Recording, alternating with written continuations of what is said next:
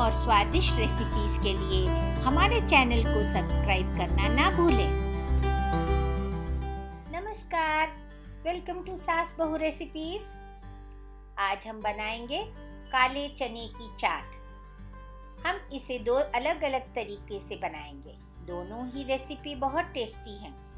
ये snack recipes हैं, जो स्वादिष्ट और बहुत पौष्टिक भी हैं। काले चने में बहुत मात्रा में प्रोटीन, फाइबर आयरन कैल्शियम इत्यादि होता है। चने को मैंने रात भर भिगो कर रखा था। फिर नमक डालकर प्रेशर कुकर में तीन सीटी बजा ली। ये अच्छी तरह गल गए हैं। आलू को भी मैंने उबाल लिया है।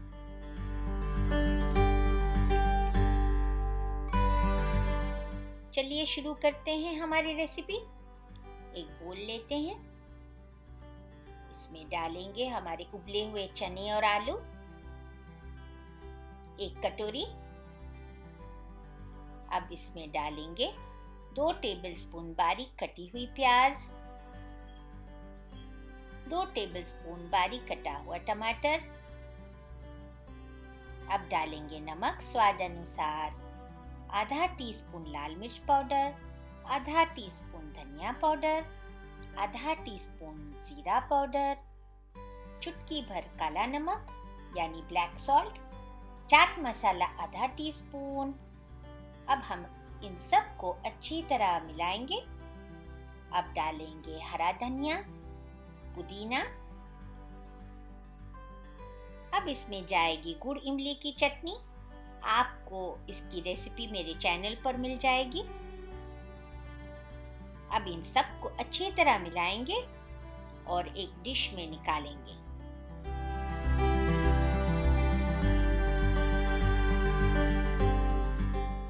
अब इस पर मैं दही की चटनी डालूँगी। दही की चटनी में मैंने थोड़ा सा नमक, लाल मिर्च पाउडर और थोड़ी सी शक्कर डाली है। इस तरह दही की चटनी डालेंगे, फिर डालेंगे हरी चटनी।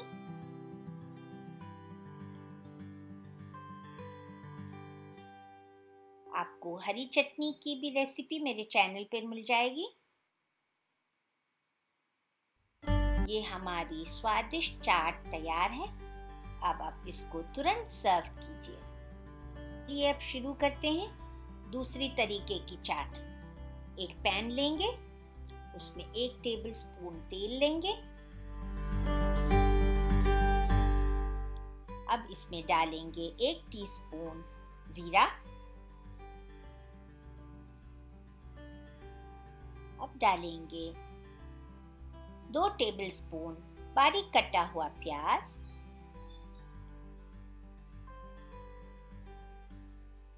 और प्याज को ट्रांसपेरेंट होने तक पकाएँगे। हमें इसको लाल नहीं करना है।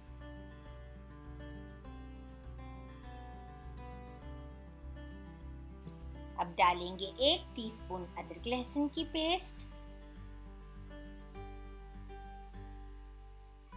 और अच्छी तरह भून लेंगे। अदरक लहसुन का कच्चापन जाना चाहिए।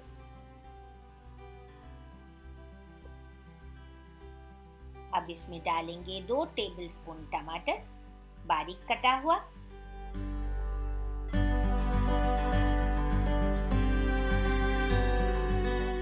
अब डालेंगे नमक स्वाद अनुसार। एक टीस्पून लाल मिर्च पाउडर एक टीस्पून धनिया पाउडर एक टीस्पून चाट मसाला पाउडर एक टीस्पून जीरा पाउडर चुटकी भर काला नमक, और हम अब इन सब मसालों को अच्छी तरह भून लेंगे।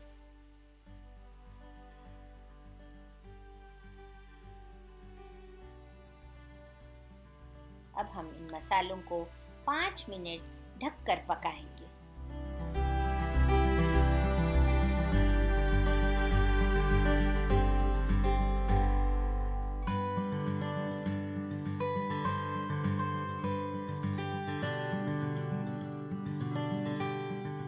हमारे मसाले अच्छी तरह पक गए हैं।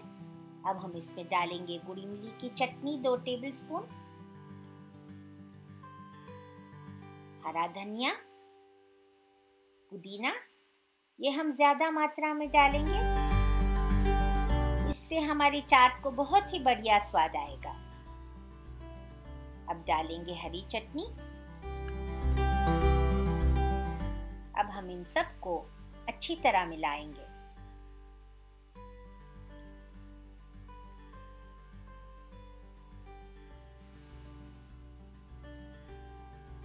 अब इसमें जाएगा हमारी बॉईल किए हुए चने और आलू।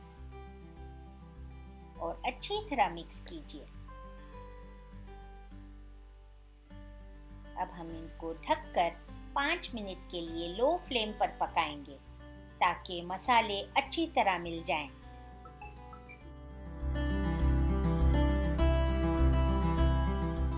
पाँच मिनट हो चुके हैं। हमारी चाट तैयार हो गई है। चलिए हम इसको सर्व करते हैं। ये हमारी हेल्दी स्वादिष्ट चना आलू चाट तैयार है। इसे बनाइए, खाइए और खिलाइए। आप हमारे चैनल को लाइक कीजिए शेयर कीजिए।